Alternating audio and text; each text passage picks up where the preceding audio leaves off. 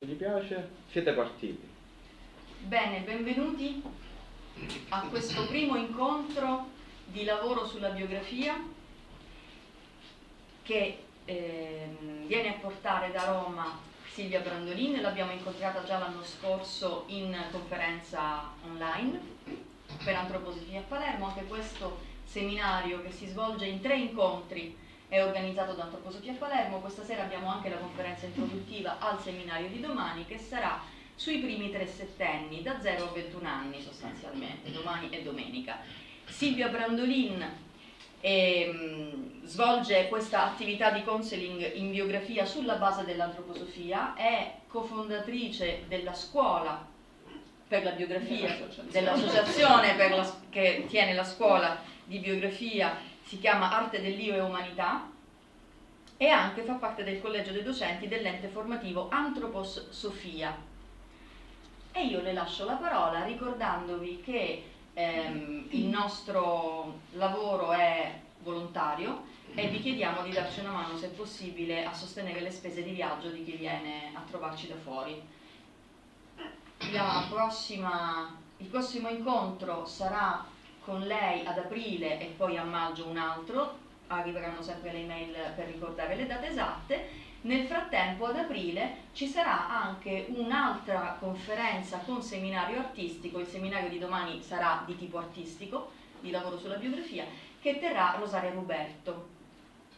Arriveranno tutte le informazioni a tempo debito. Se non siete iscritti nella newsletter di Antroposofia a Palermo, per favore qui c'è il foglio in cui potete lasciare i vostri recapiti e sarete inseriti nella newsletter. Bene, benvenuti, lascio la parola a Silvia. Innanzitutto vi ringrazio di questa accoglienza e porto i saluti di Paola Forasacco per chiunque la conosca, si è raccomandata di salutare i suoi cari amici di Palermo.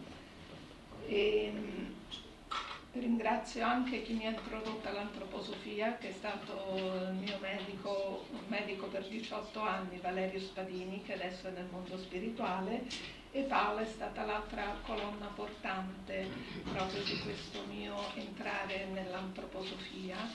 E una cosa di cui le sono molto grata è che lei ha sempre cercato di eh, far sì che venisse portata in modo vivente, non in modo intellettualistico in modo mentale e questo per chi ha lavorato con lei credo che lo abbia potuto mh, verificare sperimentare.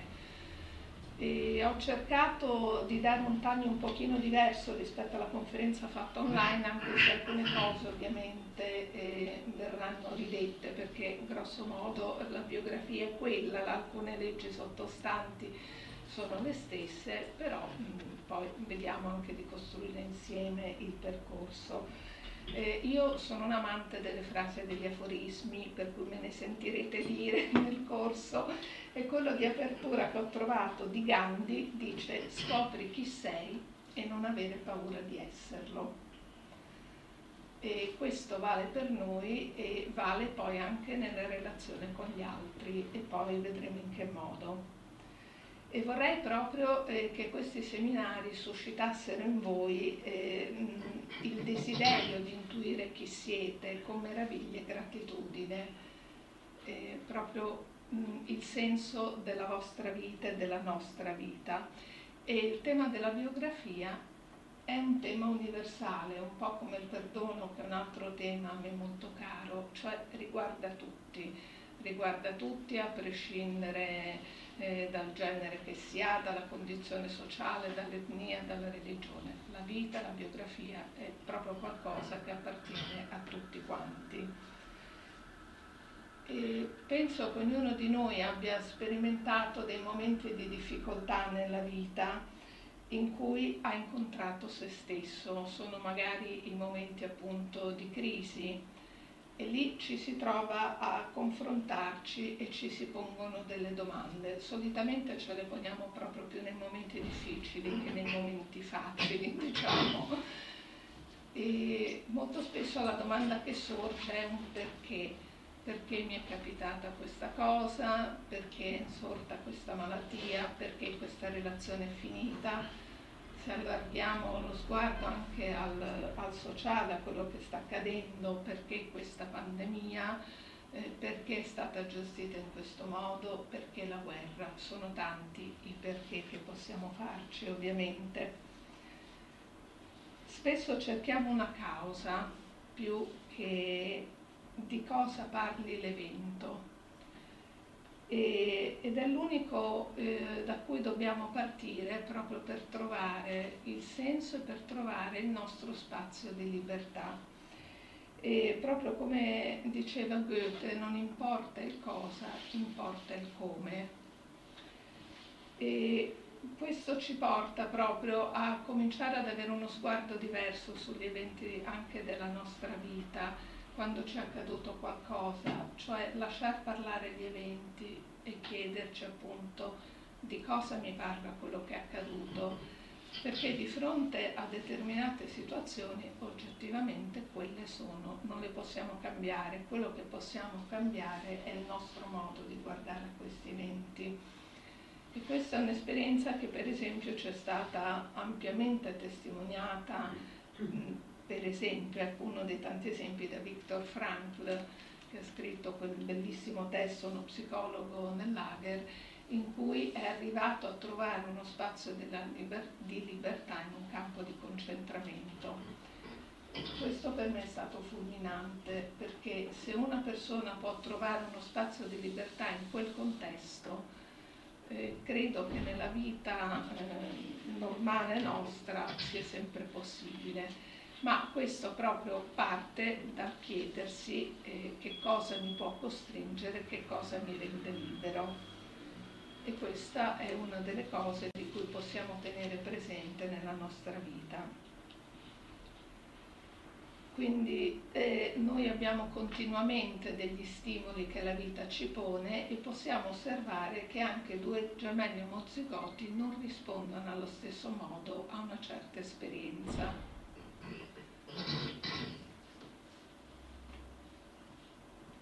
I momenti in cui noi siamo chiamati a prendere delle decisioni, a fare delle scelte, sono i momenti in cui possiamo cogliere la nostra individualità, il nostro io. Cominciamo a introdurre appunto eh, eh dei nomi che ricorreranno più volte in questi incontri. E questi momenti eh, ci fanno sentire che noi stiamo facendo una scelta, stiamo prendendo una decisione. Ed è qualcosa di diverso, per esempio, da quando agiamo abitudinariamente. Questo non per dare un giudizio, perché nella nostra giornata facciamo tante azioni in modo abitudinario, eh, non è detto eh, che non vada bene in assoluto però è chiaro che se noi eh, agiamo sulla, eh, sor- sulla scorta dell'abitudine oppure agiamo sulla base di ciò che altri si aspettano da noi, probabilmente il nostro io eh, non è così tanto presente. Questa esperienza dell'io è quella che proprio ci mette in contatto con la nostra biografia ovvero con la scrittura della nostra vita che è qualcosa che avviene continuamente. Marco Aurelio diceva che l'eco di ciò che facciamo ora risuona nell'eternità e quindi eh, ci si apre anche questo, questo spiraglio sull'eternità. Proviamo a pensare che ciò che noi facciamo, aggiungo ciò che noi pensiamo, ciò che noi sentiamo, è qualcosa che va oltre noi stessi. Quindi possiamo decidere di essere più o meno consapevoli di come viviamo e diventare sempre più consapevoli delle qualità che ognuno di noi porta in questa vita, porta nel mondo, porta nell'eternità, come abbiamo visto, e di come può svilupparle grazie anche agli altri. Eh, nel titolo della conferenza c'era appunto la conoscenza di se stessi e il maggiore interesse per gli altri e vedremo che continuamente lo sviluppo nostro è sempre in relazione e, e avviene anche grazie agli altri. Poi vedremo via via degli esempi.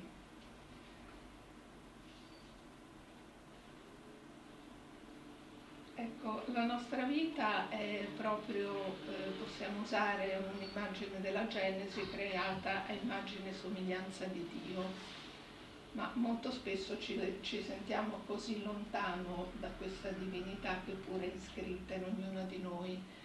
E quindi possiamo provare proprio a disseppellirla, per usare un'espressione di Etty Hillesum, questa giovane ebrea olandese che parlava proprio di questo Dio che, che per comodità chiamava Dio, questa profonda ricchezza che sentiva in sé e che poteva disseppellire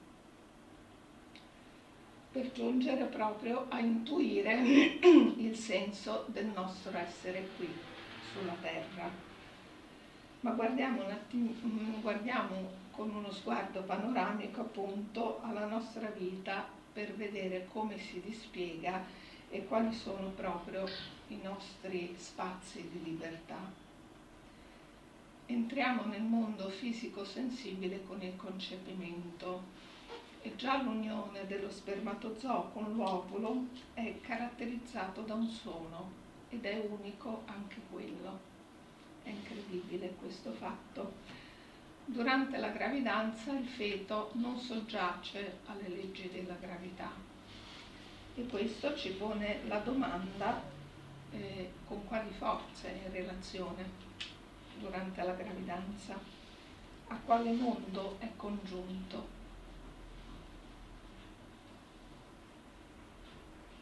Con la nascita entra nel mondo, irrompe, per usare l'espressione di Hillman, e comincia la sua biografia strettamente collegata agli altri e questo legame poi nel tempo cambierà e aumenteranno anche le persone con cui sarà in costante relazione.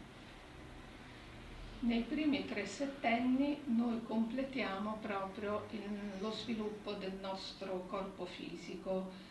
Nel primo settennio abbiamo lo sviluppo del sistema neurosensoriale, poi via via nei vari settenni queste cose ovviamente le riprenderò.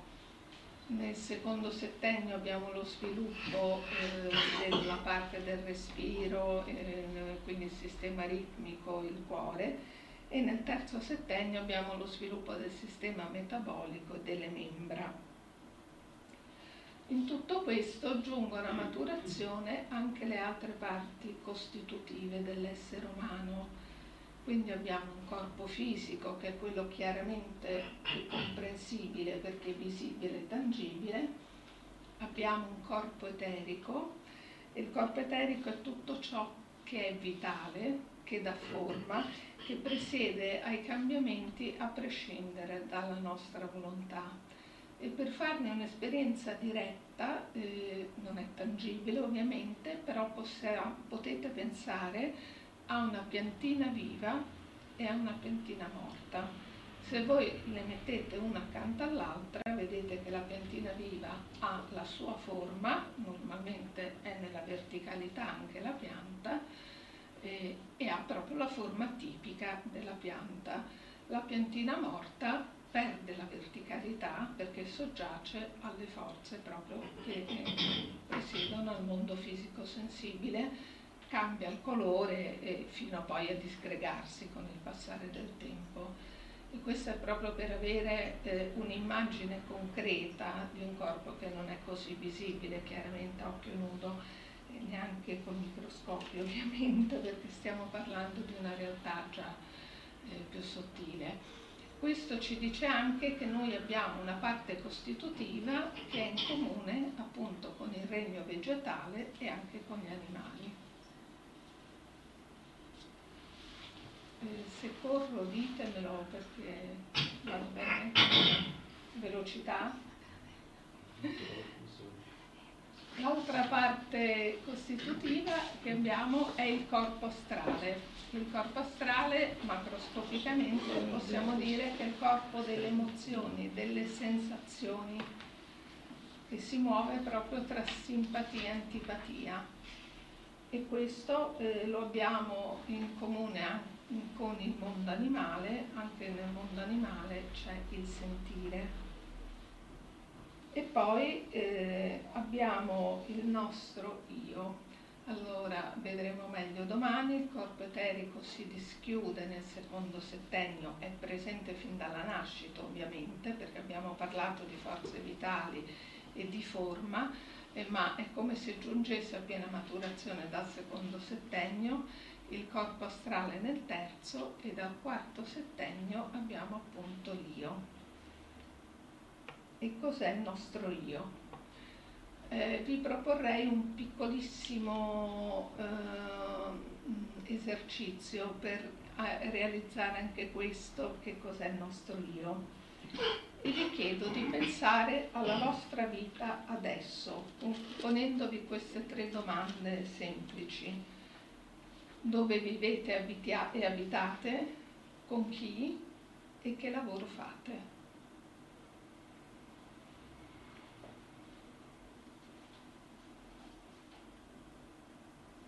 Immagino abbiate tutti pensato a questo. Adesso torniamo indietro di sette anni e siamo nel 2015. Le domande sono le stesse, quindi dove vivevate e abitavate, e con chi e che lavoro facevate o che attività.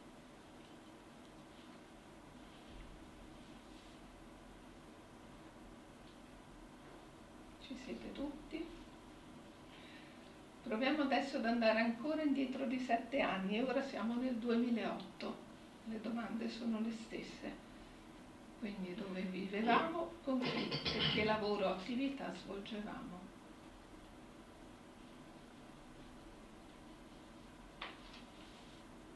E un'ultima volta nel 2001.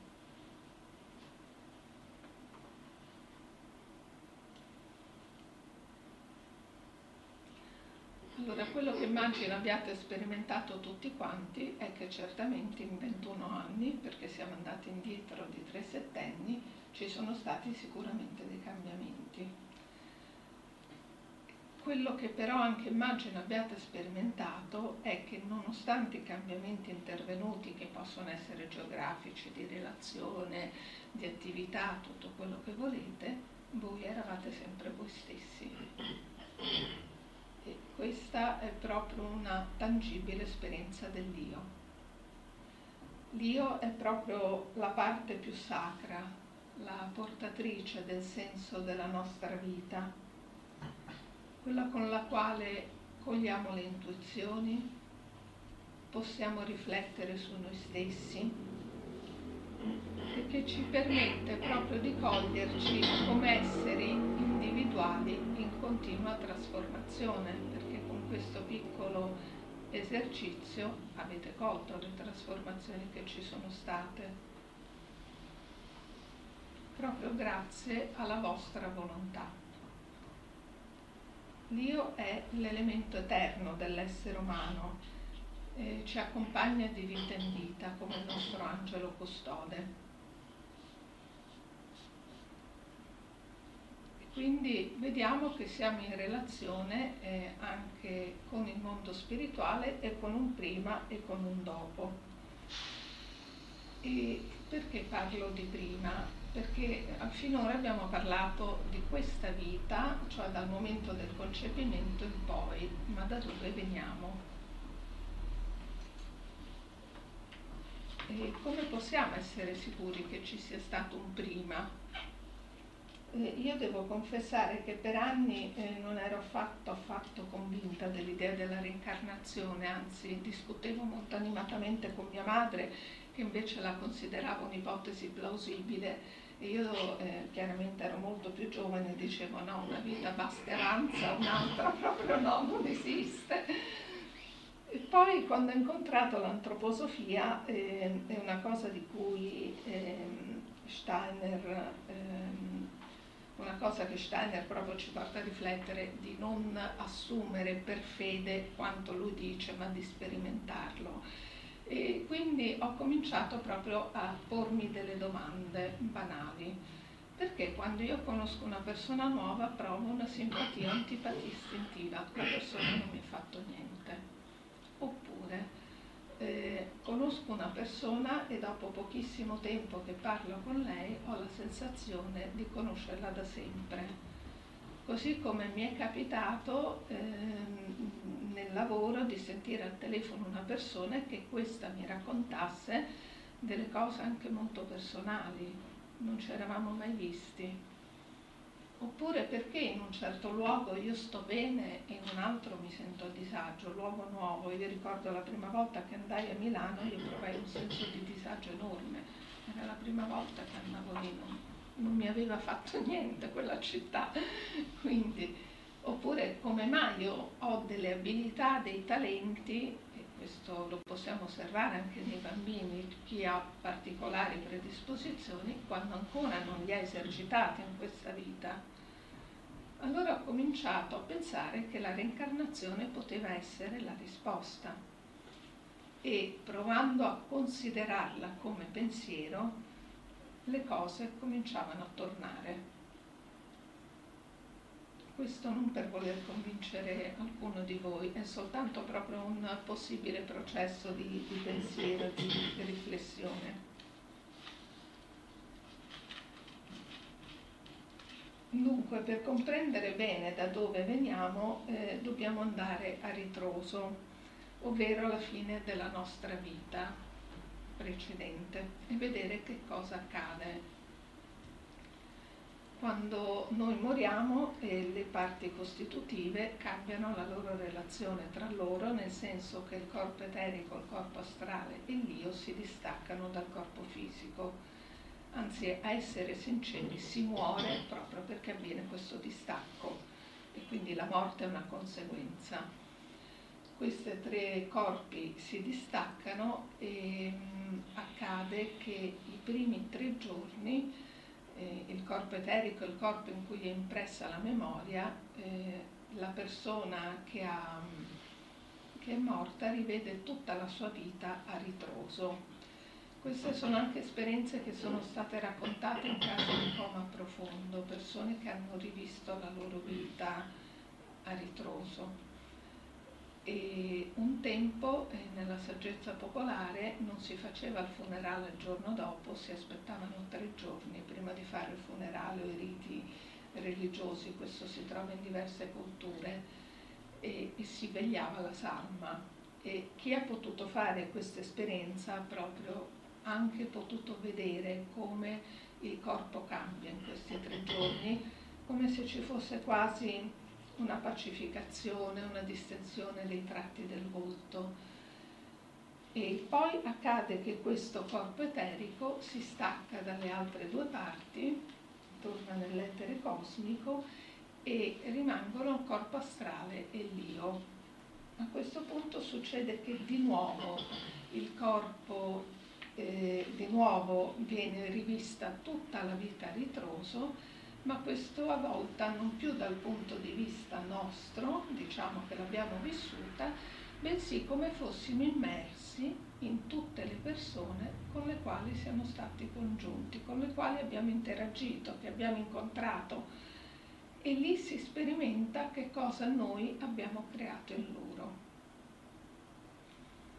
E questo può essere una, un motivo di meraviglia perché io credo che tutti noi eh, agiamo beneficamente sull'altro senza magari neppure rendercene conto, semplicemente magari facendo un sorriso a una persona che incrociamo per strada o facendo una gentilezza. E noi non possiamo sapere che cosa stiamo creando nell'altro ovviamente oppure realizziamo il dolore e la sofferenza che abbiamo eh, creato nell'altro. E chiaramente eh, in quel momento la consapevolezza è eh, di eh, essere appunto desti a questa cosa e di voler anche riparare a questo dolore che abbiamo inferto in qualche modo. E questo tempo di purificazione eh, si chiama purificazione perché è il tempo in cui anche vengono in un certo senso sciolte tutte le brame e per brame qui intendiamo tutti i desideri che noi nella vita abbiamo avuto ma che non erano legati allo sviluppo spirituale. Eh, il fumo, per fare un esempio, o l'alcol, cioè desiderare mangiare una cosa sana, se però per me il cibo diventa quella brama per cui è veramente eh, qualcosa che mi consuma, può essere il fumo, può essere l'alcol, possono essere tante cose, chiaramente queste eh, attività hanno bisogno di un corpo fisico per essere svolte, ma nel mondo eh, spirituale noi non abbiamo più un corpo fisico, per cui è come se ancora vivessimo quel desiderio, ma non abbiamo più gli organi per poterlo realizzare. Quindi in questo senso si parla di purificazione e mh, mm, grosso modo eh, dura un terzo della nostra vita o il tempo corrispondente a quanto abbiamo dormito. Io avrò un camalocca lunghissimo perché dormo tanto e quindi eh, in questo periodo appunto, terminato questo periodo, eh, anche il corpo astrale si stacca dall'io e l'io continua il suo viaggio nel mondo spirituale. E accenno soltanto che c'è proprio un percorrere ehm, tutte eh, le sfere planetarie, dove per sfere planetarie non dobbiamo pensare ai pianeti morti, ma ogni pianeta è abitato da esseri spirituali, quindi il viaggio che compiamo è proprio nell'ordine eh, Luna, Mercurio, Venere, poi il Sole e poi Marte, Giove Saturno. Compiuto tutto questo lungo viaggio, vi cito i pianeti perché poi i pianeti li ritroveremo nella biografia perché ogni pianeta ha un'influenza particolare sui settenni della nostra vita e a quel punto eh, siamo nella cosiddetta mezzanotte cosmica. E è il momento in cui noi desideriamo tornare sulla Terra, perché soltanto sulla Terra noi possiamo sperimentare la libertà. Nel senso che nel mondo spirituale noi abbiamo un processo proprio di sviluppo di crescita che sono l'essenza dell'io e tutto ciò che noi abbiamo vissuto qui sulla terra come frutto diventa un seme nel mondo spirituale. È interessante questo processo dal frutto al seme proprio nel mondo spirituale, ma non possiamo agire la libertà, quella è qualcosa che possiamo agire qui sulla terra e due sono i motivi che ci portano a desiderare di tornare qui sulla terra, appunto. E di nuovo poter agire nella libertà e poter riparare eh, a tutto il male che abbiamo fatto e di cui siamo diventati consapevoli. E si sente proprio un'attrazione verso la terra.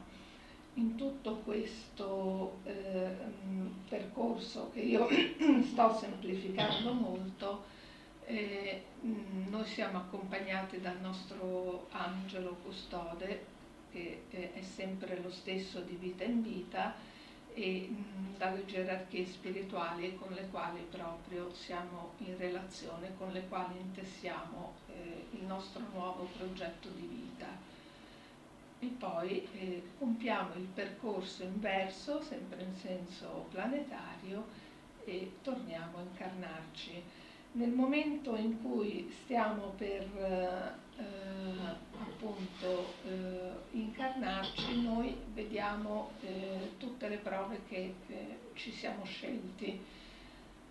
Perché parlo di prove? Perché quello che qui noi viviamo appunto come una prova, una difficoltà, in un'ottica spirituale è un'occasione che ci siamo scelti per sviluppare qualcosa evidentemente abbiamo riconosciuto che ci mancava e quindi eh, l'ottica è completamente rovesciata. Se ci pensiamo bene, qui ci lamentiamo di determinate eh, situazioni che ci creano difficoltà, se riuscissimo veramente a congiungerci con eh, il motivo per cui l'abbiamo scelto o comunque congiungerci col fatto che ha un senso diverso, e probabilmente eh, le difficoltà ci sono, le viviamo, le soffriamo, ma hanno eh, una portata e un significato diverso e questo ci può dare anche più serenità nell'affrontarle. Nessuna vita è priva proprio di, di ostacoli e di occasioni, oserei dire, per poter crescere e maturare e il dolore che abbiamo inflitto diventa qui proprio una spinta, un desiderio a incarnarci. Quindi anche qui c'è un, un rovesciamento dell'ottica. Infine, eh, tra la morte e la nuova nascita, l'uomo, eh, eh, l'essere umano spirituale si occupa anche della terra.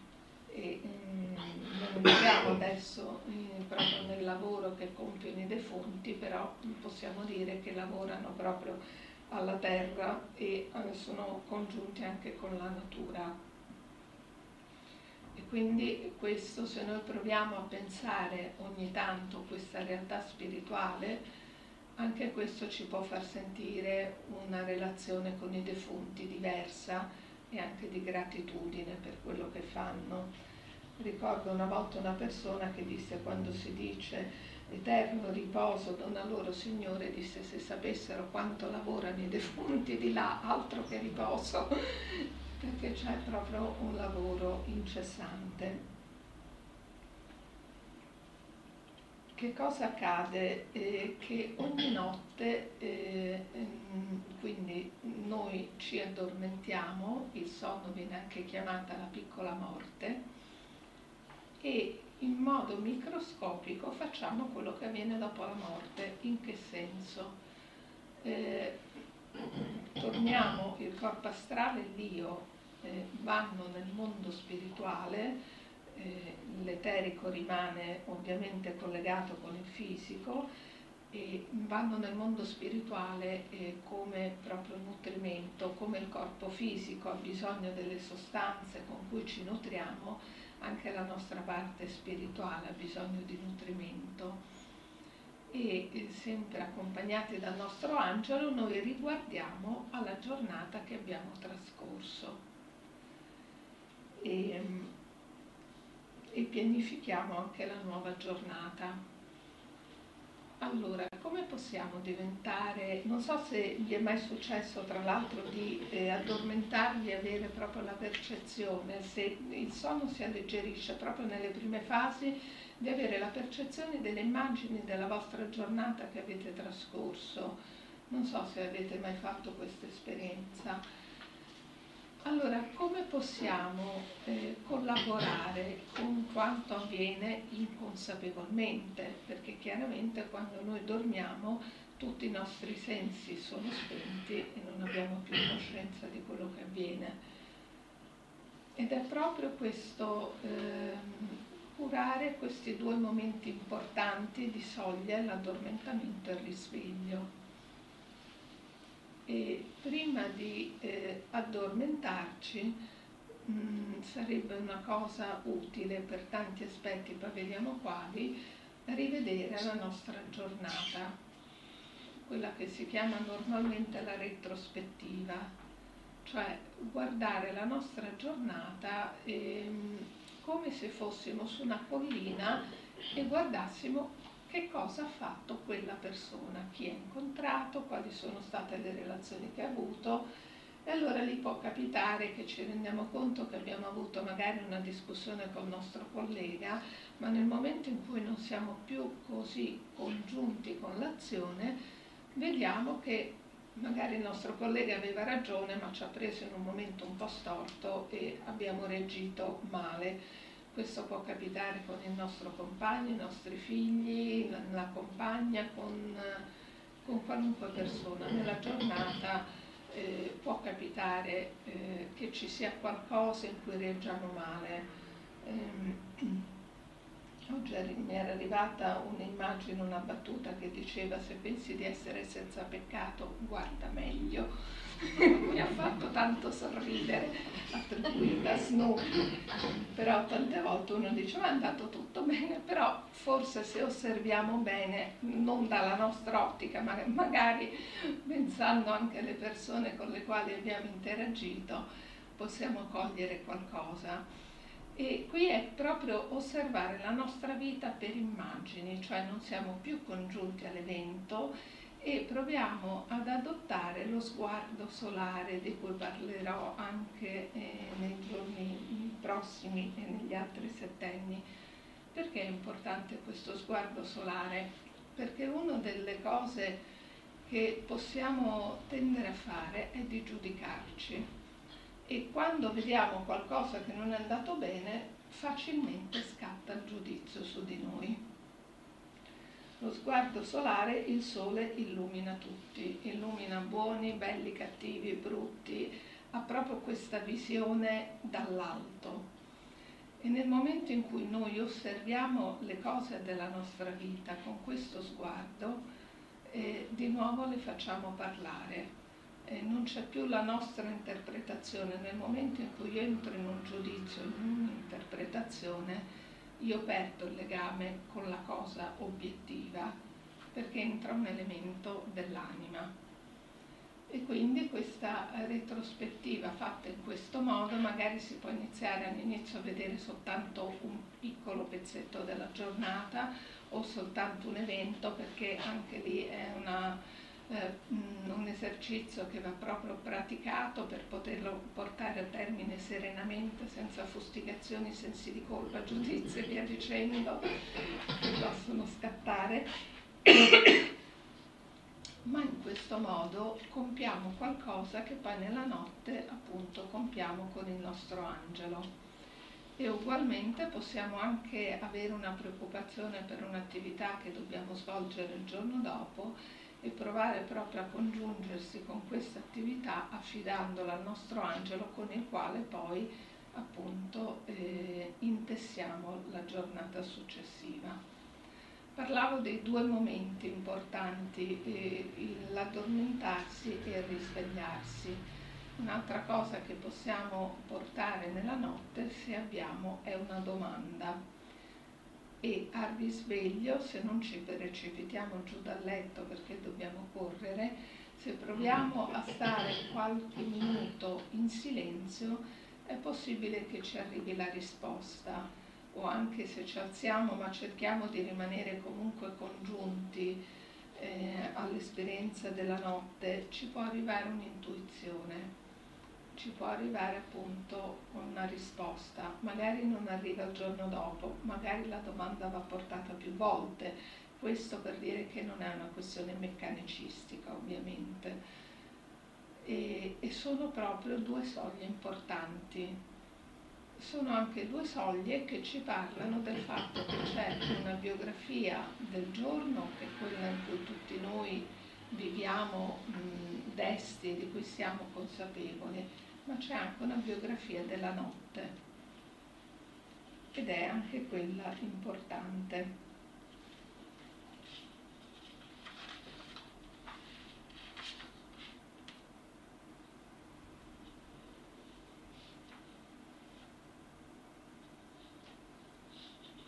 L'altro aspetto che volevo sottolineare è proprio la relazione che noi abbiamo nella nostra vita con le persone che incontriamo e chiaramente con il mondo e con il cosmo, perché nel momento in cui noi la notte siamo nel mondo spirituale eh, eh siamo inseriti proprio eh, nell'ambito del cosmo e questa è una riflessione che può portarci proprio ad allargare il nostro sguardo.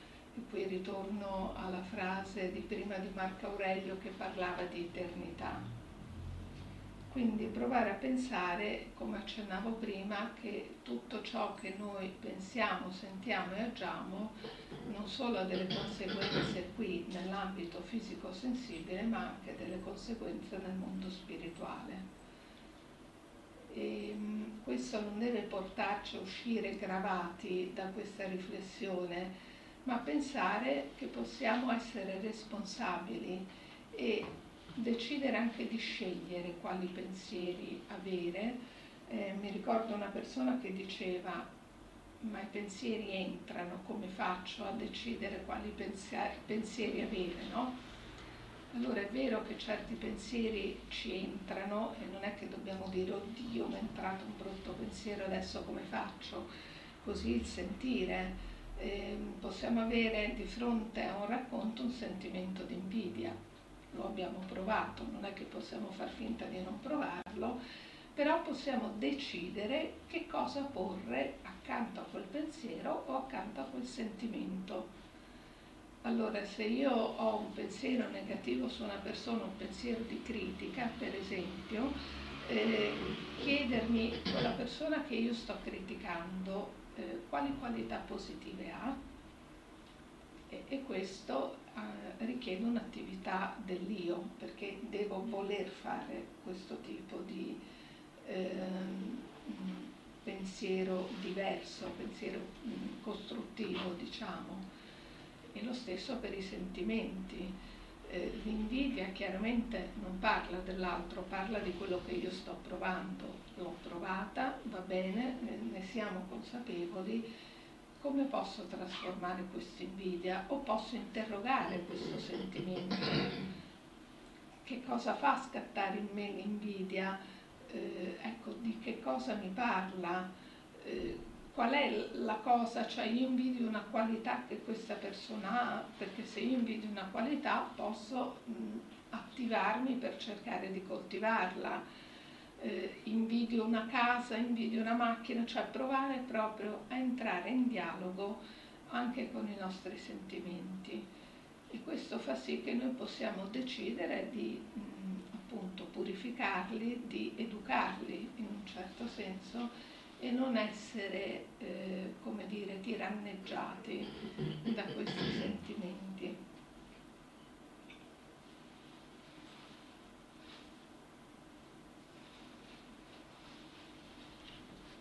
Dicevo prima eh, che noi appunto la nostra vita viene da molto lontano, tutto quello che avviene prima della nascita è il tema dell'innatalità, di cui si parla poco ma che è fondamentale perché è l'altro aspetto dell'essere umano.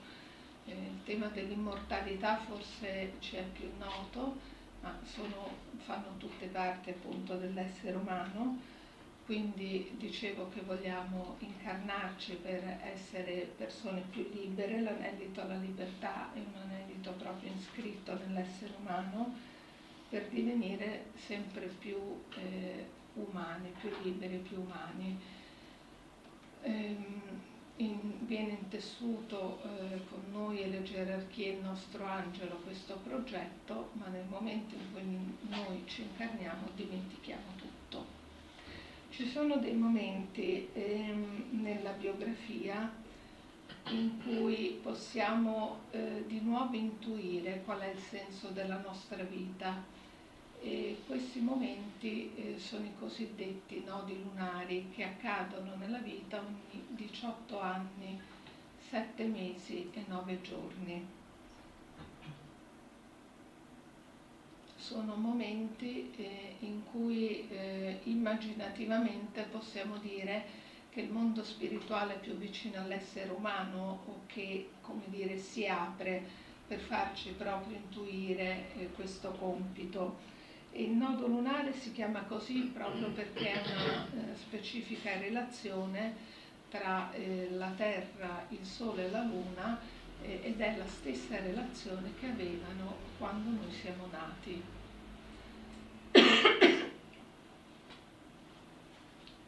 Noi cresciamo grazie agli altri in tutti i sensi, lo vedremo in particolare domani quando parleremo dei primi tre anni dell'essere umano. E grazie a chi incontriamo diventiamo ciò che siamo. E diventiamo ciò che siamo anche grazie alle persone che ci danno particolarmente fastidio, perché se entriamo nella, nella comprensione del fatto che noi abbiamo scelto di incontrare quella persona che ci dà fastidio, ci potremo chiedere quali qualità ci sta eh, ehm, stimolando a sviluppare. E se noi accogliamo questa sfida e mh, diventiamo più umani, miglioriamo, eh, questo accade proprio grazie alla persona che particolarmente ci infastidisce o ci fa soffrire o non ci comprende.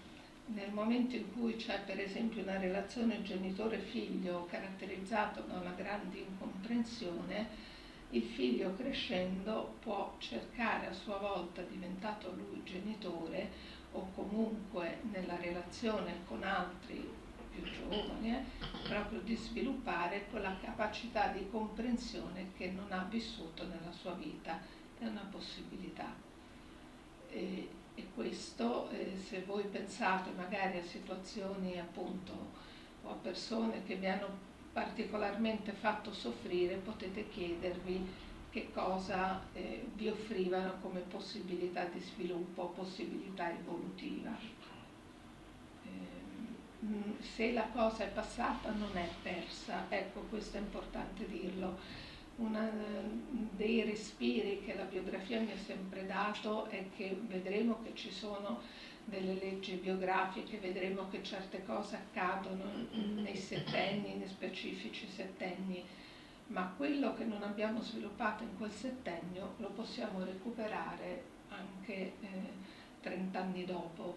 Ehm, può essere più impegnativo perché chiaramente non avviene nel momento di sviluppo naturale, ma quello che proprio ci conduce a sviluppare eh, appunto questa qualità è il nostro io eh, dipende proprio dalla nostra volontà, dal decidere appunto di voler coltivare determinate qualità.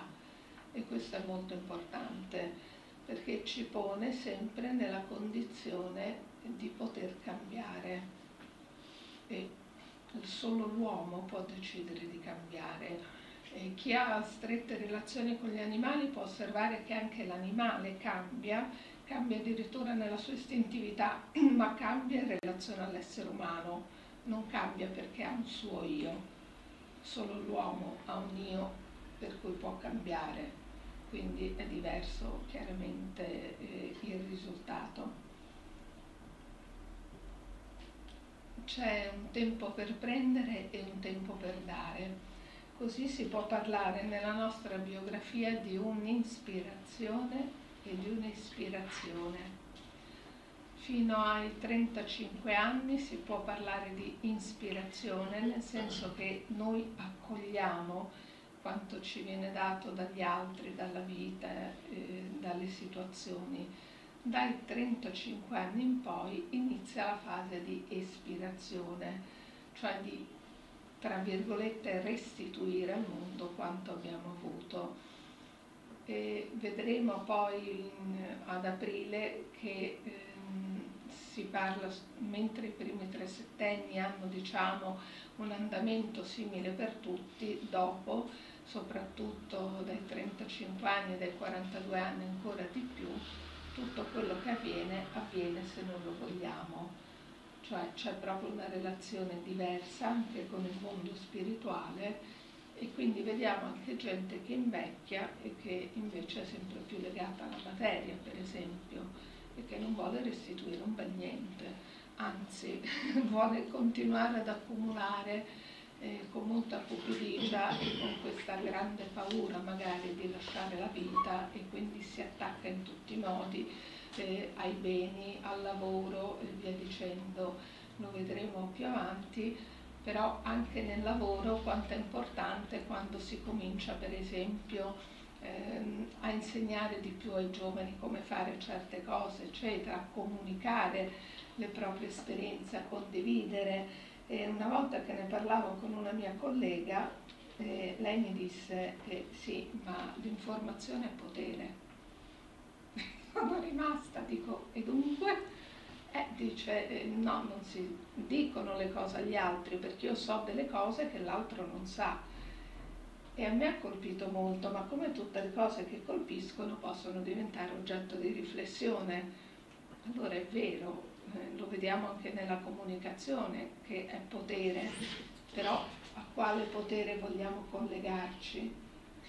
A me quel potere personalmente non interessa un'altra cosa che mi destò molto, eh, parlavo una volta con un collega che aveva da poco compiuti 63 anni, eh, dopo il quale Steiner dice abbiamo terminato i nostri compiti legati al nostro destino, cioè compiti che ci eravamo scelti prima di nascere, il che non vuol dire che la nostra vita diventi improvvisamente inutile, tutt'altro, anzi entriamo proprio nella fase della gratuità, del dono quindi di quello che noi possiamo fare. Allora gli chiesi, eh, tu hai intuito qual è, qual è il senso della tua vita? Dico, ma senza che tu me lo debba dire, perché chiaramente può essere anche una cosa molto intima. E questa persona candidamente mi disse, ma io veramente non ci ho mai pensato. E anche lì ho detto, com'è possibile? Perché questo è un tema che incontreremo proprio domenica col terzo settennio, però il fatto che questa persona l'abbia detto vuol dire che è possibile che uno non abbia mai riflettuto eh, fino a quel momento, spero che negli anni dopo l'abbia fatto per il suo bene, eh, ecco qual è il senso della mia vita. È chiaro che quando siamo piccoli una domanda che non ha senso, è una domanda che si può porre soltanto un io interrogante, eh, ma è chiaro anche che è una domanda che si può eludere perché può essere difficile scoprire che noi intuiamo un senso e abbiamo fatto una vita diversa da quello che poteva essere il senso della nostra vita. Allora lì bisogna vedere quanto noi abbiamo un'idea di quello che secondo noi sarebbe stato il senso della nostra vita. Per esempio lui mi disse io volevo studiare medicina, mio padre mi ha fatto studiare legge, ma questo non vuol dire che la vita non abbia un senso uno può anche sacrificare, ho incontrato una persona che interruppe gli studi perché la famiglia aveva bisogno del suo aiuto, lui doveva andare a lavorare, eccetera. Ci può essere anche un sacrificio di un desiderio di istruzione, eccetera, ma questo ha un senso nella vita di una persona, ovviamente. Oppure rendersi conto che è il momento di cambiare qualcosa, perché effettivamente la Michela Glöser ci riferiva proprio di un dirigente d'azienda che stava in macchina sfrecciando con due telefoni perché è quello dell'ufficio e a un certo punto si ferma e realizza che quella non è la vita che voleva fare. Dopodiché torna al lavoro, decide di mettersi in pensione, non c'era la legge Fornero evidentemente, quindi si mette in pensione e, e poi si è messo proprio a fare attività di volontariato. Questo per fare un esempio, però eh, qualunque scelta che noi facciamo, qualunque scelta che non abbiamo potuto fare può essere comunque illuminata dalla consapevolezza e comunque eh, dare un senso a questo. Eh, sicuramente ogni vita ha un senso, ogni vita porta un colore in questo mondo, questo è sicuro. Chiaramente più ne siamo consapevoli e più possiamo contribuire eh, a questo nostro compito, sempre in relazione appunto eh, con gli altri. Ehm, biografia, autobiografia, eh, lo accennerò anche domani. Ehm, noi naturalmente ehm, tendiamo a ragionare sulla base di ciò che abbiamo fatto, ciò che abbiamo vissuto eh, però la nostra vita è anche nel futuro, ovvero la realizzazione eh, della, eh, del senso della nostra vita che è stato progettato ci chiama continuamente dal futuro. E quindi dobbiamo anche lì considerare che c'è una corrente che viene dal passato ed è anche la corrente ereditaria e c'è una corrente che ci chiama dal futuro. E in fondo eh, è quella verso la quale stiamo andando, eh, però mh, bisogna anche di questa divenire consapevoli e chiedersi quando mi accade qualcosa eh, che relazione ha con il futuro e con quello che io mi, mi sono prefisso di compiere prima di incarnarmi. Eh, facevo l'altra volta nella conferenza un esempio concreto ed era questo, voi non siete venuti qui come conseguenza dell'aver preso la macchina dell'essere venuti a piedi, eccetera, siete venuti qui perché c'era uno scopo ed era ascoltare la conferenza e quindi eh, si rovescia il pensiero causale perché altrimenti uno potrebbe dire siete qui perché avete preso la macchina, cioè è il portato di un'azione passata, è esattamente il contrario, era un qualcosa del futuro che vi ha portato a compiere delle azioni. Non so se l'esempio sia stato chiaro. E, e, si tratta di guardare alla nostra vita con occhi nuovi, questo sempre.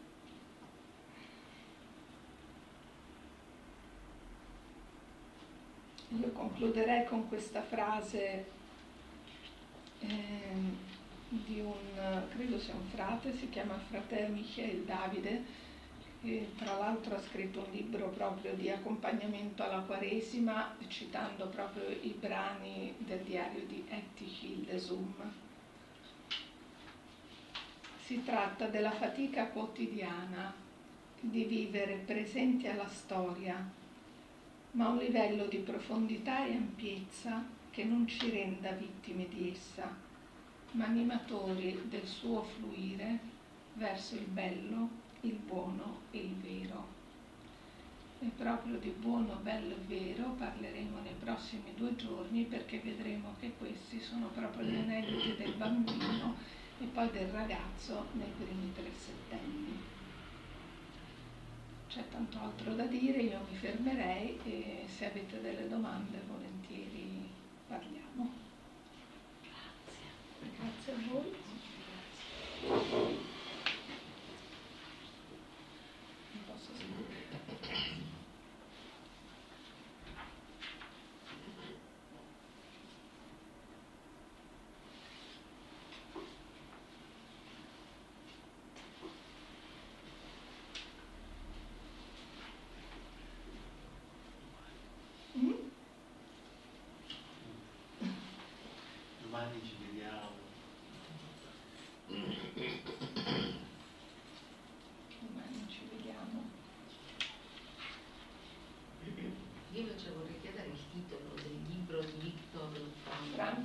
Psicologo nel lager. Ah, ecco.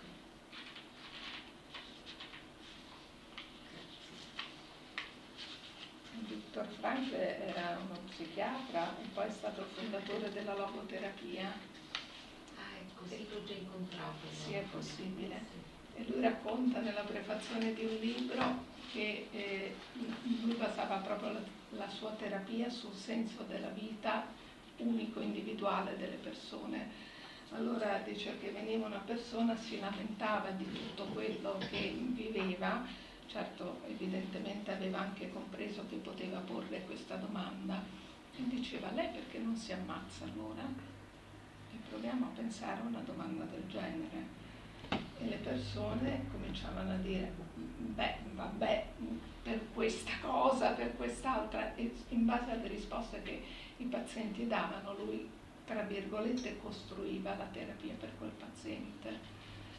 E un'altra volta una signora lo chiamò nel cuore della notte e, e, tenne, e, e lo tenne al telefono per due ore dicendo che voleva suicidarsi e lui appunto la, eh, la trattenne al telefono e poi disse comunque signora continuiamo domani a studio la signora il giorno dopo è andata a studio e gli ha detto guardi io non mi sono suicidata ma non per quello che lei mi ha detto ma perché lei mi ha ascoltata. E questa cosa mi fa tanto riflettere sulla necessità di ascoltare gli altri quanto le persone hanno bisogno di essere ascoltate soprattutto in questo tempo dopo questa chiusura che c'è stata a volte si vedono persone che basta niente che iniziano a parlare, no? Proprio esserci per l'altro, quanto è importante questo. Ed è terapeutico, cioè questa signora era quello che di fatto testimoniava.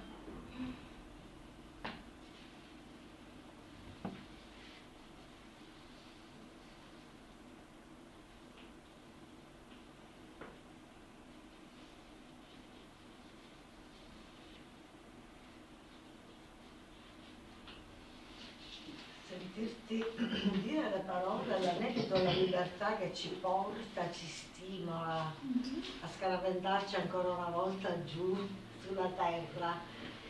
Eh, sembra una contraddizione perché poi di fatto eh, viviamo nella certezza di non essere vive, di non poterci muovere, cioè è una, come, eh, come dire, un, è necessario formarsi per poter ricongiungersi a questo merito.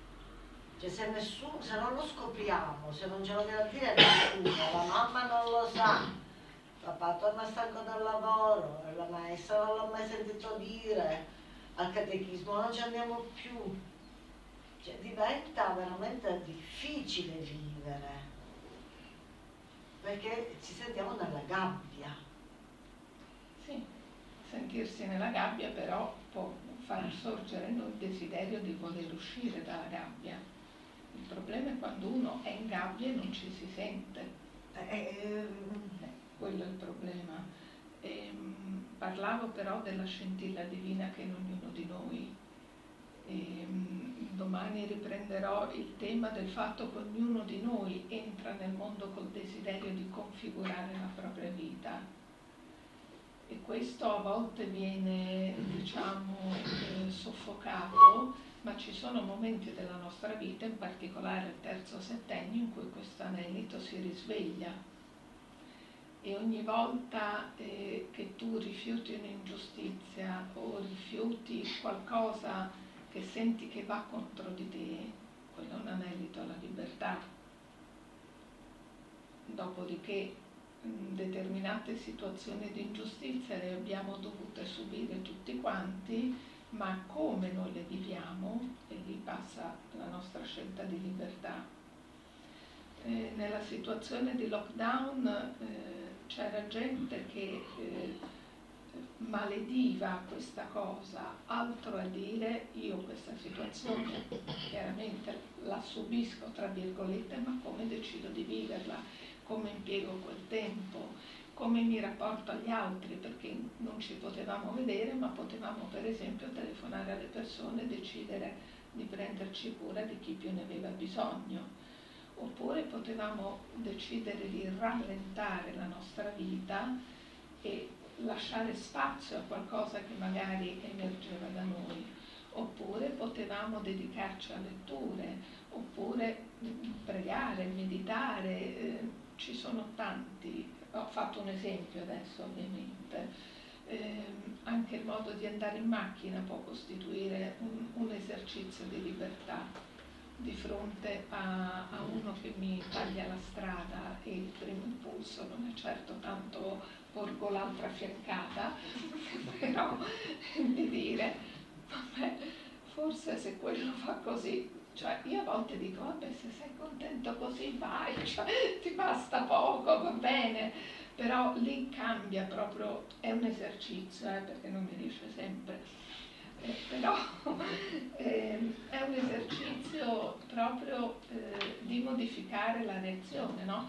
solo se io lo voglio, cioè è un'azione libera perché io voglio andare in una certa direzione. È chiaro che l'istinto eh, mi porterebbe a reagire in altro modo. Ogni volta che io supero l'istinto, diciamo, eh, metto in atto un piccolissimo gesto di libertà certo, prima di conseguire la libertà pienamente in tutti i sensi, a me ci vorrà più di una vita, parlando personalmente, ecco.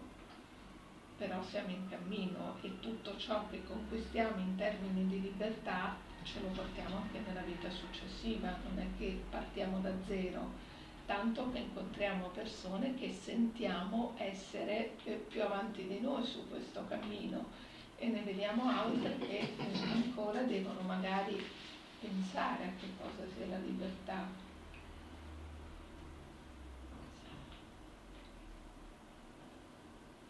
Ma solo l'anelito alla libertà ci affascina?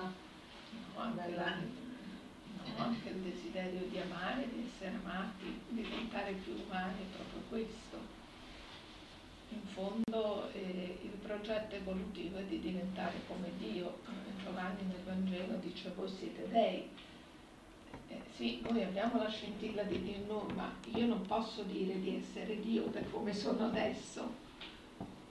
E, è proprio questo svilupparci nell'amore. In fondo quando noi facciamo un'azione assolutamente gratuita e di amore verso una persona, come ci sentiamo dentro? Decisamente bene. Ci sentiamo decisamente meglio che a reagire male.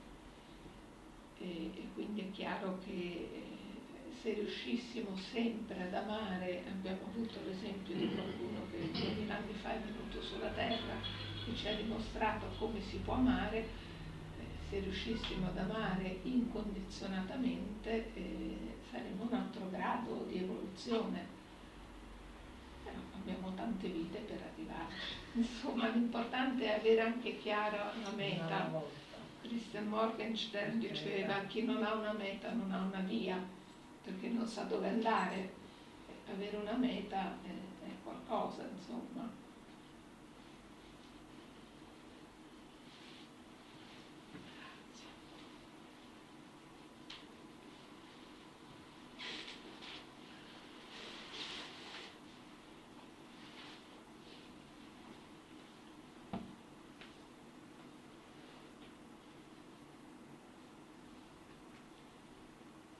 Tutti pensierosi.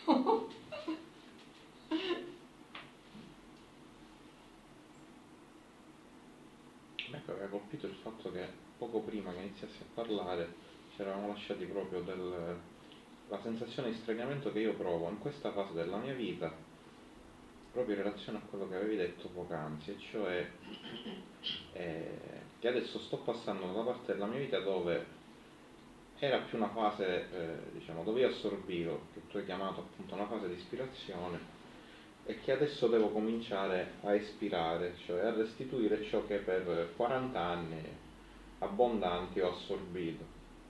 E diciamo, eh, mi ha colpito molto perché sono attualmente proprio in questa. Sono esattamente in mezzo al guado adesso.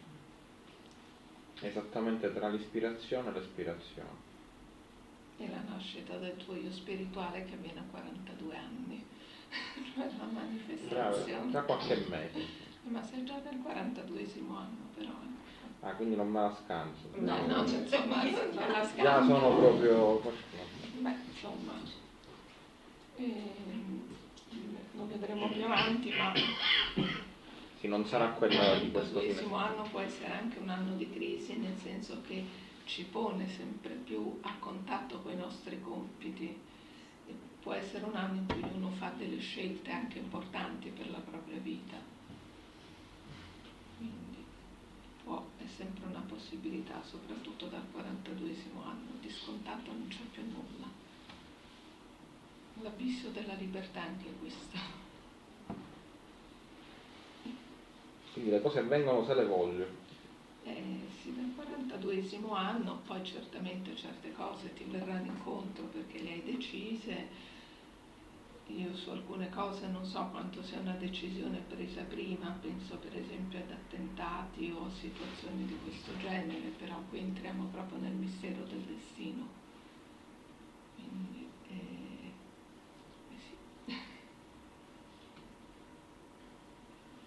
c'è sempre più la chiamata proprio alla libertà e essere pienamente te stesso dal 42 anno. Quindi può accadere che in questo momento in cui appunto si prepara la nascita dell'io si cade in uno stato di, di crisi profonda.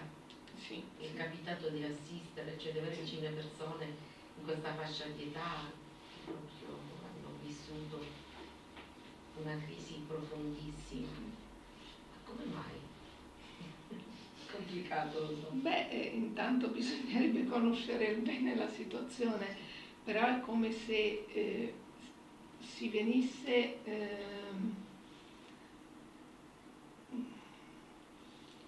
diciamo eh, stimolati, ma non mi piace come termine, eh, benissimo più portati a eh, essere congiunti col nostro ideale per il quale siamo venuti sulla Terra, ma magari eh, abbiamo fatto delle scelte di vita che ci hanno portato più distante da quel progetto e allora si sente che c'è qualcosa che non va in termini mh, profondi.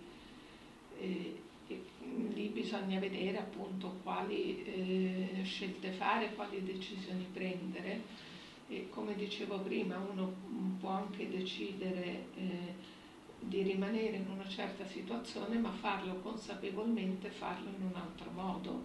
Eh, è un po' come quando uno dice il matrimonio non va, ci si può separare, o si può cercare di fare un, un percorso per vedere eh, che cosa è cambiato, quali erano le cose di prima che univano le persone, come queste si sono trasformate, se sia possibile continuare insieme questo percorso nel reciproco rispetto, favorendo la crescita non solo personale ma anche dell'altro, perché in fondo questo dovrebbe fare un rapporto d'amore. Non soltanto pensare alla crescita personale, allora molte volte nel momento di crisi uno eh, si separa, divorzia o l'uomo invecchiando cerca la relazione con la donna più giovane, eccetera. Lo vedremo nei seminari più avanti a maggio. E, e, oppure ehm, fare altro, allora lì può essere anche congedare eh, un, un, impulso, un giovanilismo che andando avanti con gli anni non c'è più. E, ehm, come mai tante persone vanno in palestra, tante donne si, si eh, rifanno la faccia, le cose, eccetera, perché c'è magari la difficoltà a essere in armonia con l'invecchiamento che eh, è ineluttabile. Io scherzando dico sempre l'unica certezza che abbiamo è la morte e, e invecchiamo se mm, moriamo in età avanzata ovviamente però un conto è accettarlo e comprendere anche qual è l'aspetto positivo di questo, perché a fronte di un corpo che invecchia potrebbe esserci uno spirito che ringiovanisce. Allora eh, tutti noi forse avremo esperienza di persone anziane luminose, proprio che irraggiano luce. Se questo processo io non lo secondo, ma grazie appunto a un impegno e una crescita spirituale, cado nella materia e allora mi sento la vita sfuggire e allora ho paura e allora mi cerco la ragazza più giovane o mi tingo i capelli e mi rifaccio tutto il volto, le cose perché io non posso invecchiare oppure mi metto in competizione con la figlia adolescente e mi vesto come lei, peccato che magari ho 30 anni di più. Però succede, e questo non lo dico con un senso di giudizio, lo dico come di cosa parla una situazione del genere sono possibilità.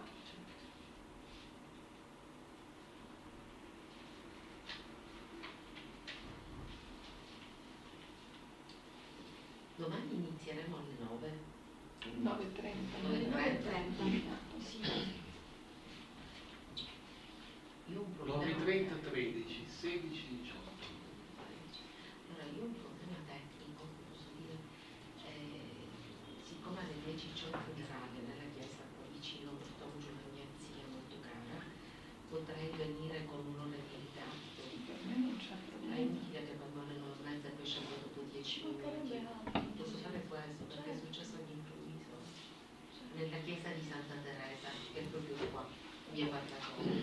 Posso venire direttamente dopo e fate una piccola sintesi. Sì, intanto faremo una pausa a un certo punto, magari se vieni nella pausa sì, ti facciamo una sintesi. Sì, sì, sì.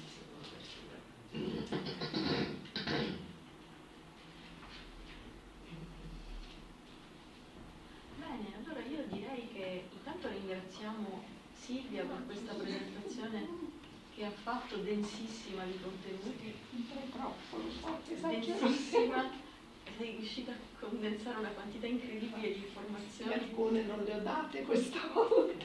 Bene, e, mm, e soprattutto perché non so appunto le persone che non conosciamo quanto ne sappiano di antroposofia e di visione dell'uomo antroposofico. Eh, grazie per il lavoro. Però ecco, io prego se qualcosa non è chiaro, per favore ditemelo, cioè ho cercato proprio di portare